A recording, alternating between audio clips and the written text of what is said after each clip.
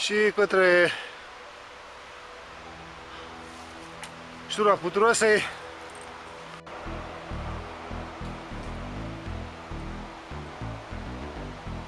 Cu Naru și cu Mihai, ștura puturoasei. Aici în uh, ștura puturoasei memoria învățătorului Ion Banu 1936-2006 s-a plantat această plăcuță. Puțin mai jos. Rățoi Gheorghe 25 a 3 1925 23 a 6 a 2009 și un peisaj de vis aici în vale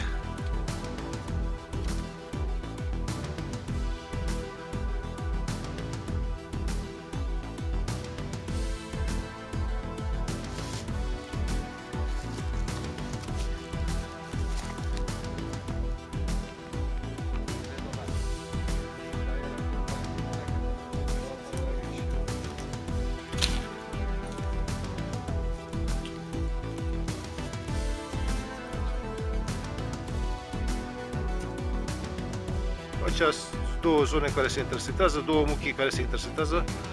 Normal traseul merge în față, printre colții șturii puturoasei.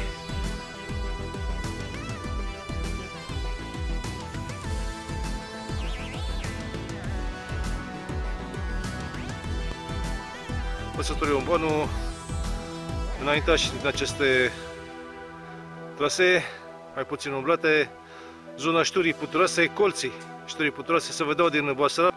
Niciun caz, aici pe dreapta să urcă, pe stânga n-are cum. Nu, nu, nu, pe stânga nu. Pe dreapta, pe partea. Aici aici la o stâncă, undeva în vale se vede Valea Ultului.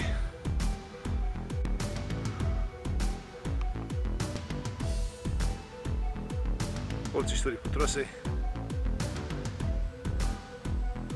Pasul poate deveni riscant în momentul în care aluneci. Mâzga care e formată pe stânci.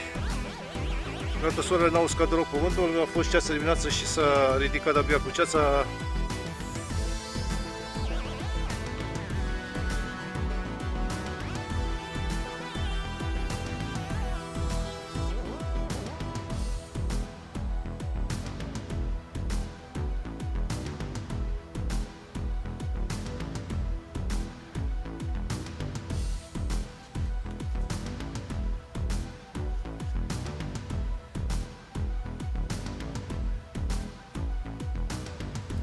apărut soarele.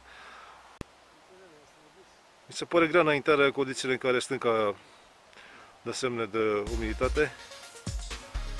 Șgaburile sunt umede, e mâzgă, e nămol, alune și pe crengi, poți să alune și pe stâncă, oricând poți să rupi un picior o mână. Și aici într-o șgabă șturii, foarte frumoasă, se pare mai interesată ca Basarabul. Basarabul e Și mai sus. Parcă puțin mai ușor a fost Basarabul cu două urcușuri copilărești și o zonă mai friabilă, dar ăsta e mai dificil, puțin. Și bineînțeles mai frumos, peisajul ăsta aduce ceva din Arățul. Colții farfecii și chiar pe unul din colții suntem acum. Deci traseul ăsta face cam tot ce am văzut în zonă și nu pot să descriu până ce filmez cu uh, camera asta video. Trebuie cineva neapărat să vină aici ca să-l facă. Traseul nu e marcat. Cineva pe vremuri a încercat să facă ceva, dar nu s-a mai făcut uh, deocamdată chiar nimic. În materie de marcaj, totul e virgin. Sunt în zona virgină, zona necălcată de om și a păstrat aspectul ăsta virgin în zona puturoasei.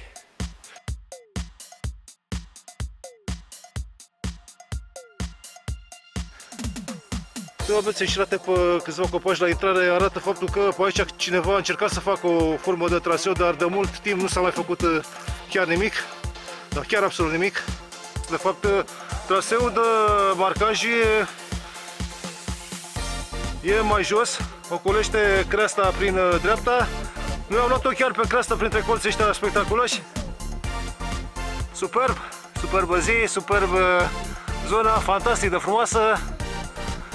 Ștura Puturoasei, unul mai puțin cunoscut, dar uh, uite că îl facem noi să iasă în evidență.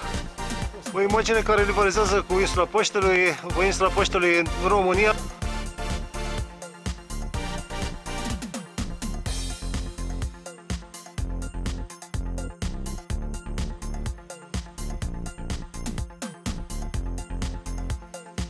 Se face o trecere între niște stânci foarte frumoase, superbe, brăzdate cu arbori și în verzi și în culorile toamnei. Coboră pe trecerea două stânci, trebuie să coborâm cu atenție pe acolo să nu cădem în gauri.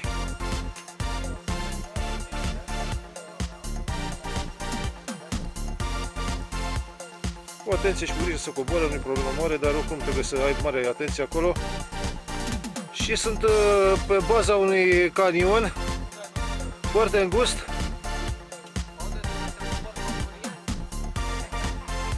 În care n-am decât să cobor nici pe funie, că nu se merită. Noi trebuie să ajungem chiar la baza stâncilor. Coborârea a fost făcută prin hornul ăsta, hornul nu toate tomna e dificil, undeva aici în dreapta în copac, se vede o cruce veche. Lasă-o să termin aici, printre stâncile astea superbe, ștura puturoasei.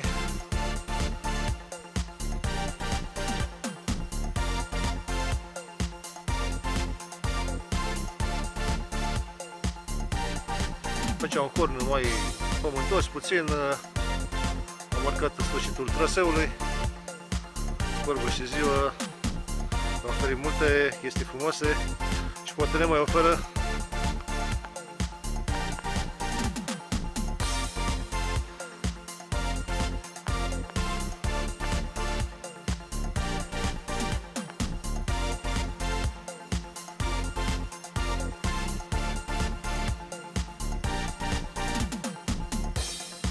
Am ajuns la cabana lui Nae. Deci o cabană de care n-am auzit. Memorialul lui Nicolae Dumitrescu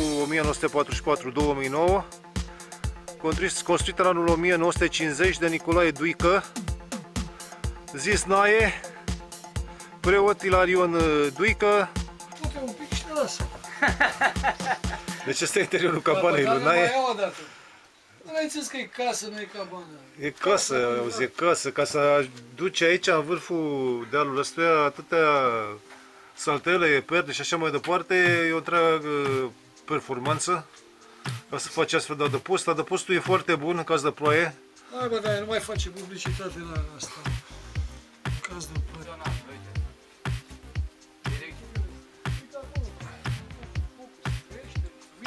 După ce ești din colții șturii puturoase, să dai de cabana lui Nae, direcția Silvică Vâlcea, Parcul Național Cozia.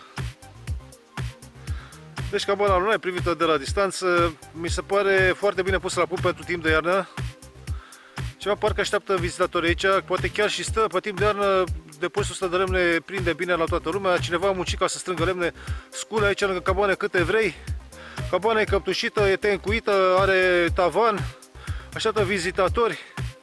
Poți să petreci de drag un revelion aici la poalele șturii puturoasei. Lângă cabana asta remarcabilă, un copac monument al naturii, se numește Natura 2000.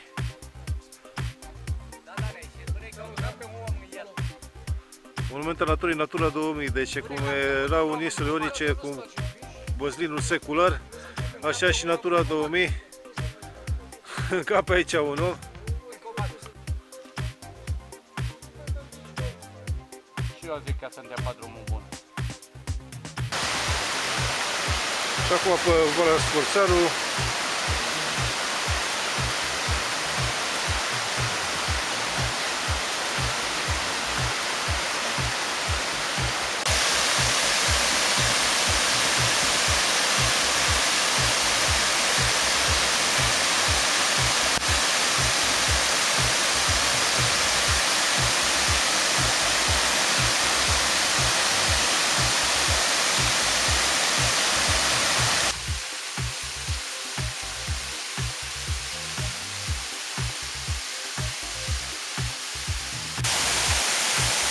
Acum la cascada Lotrișor, o cascadă destul de frumoasă de aici din zonă.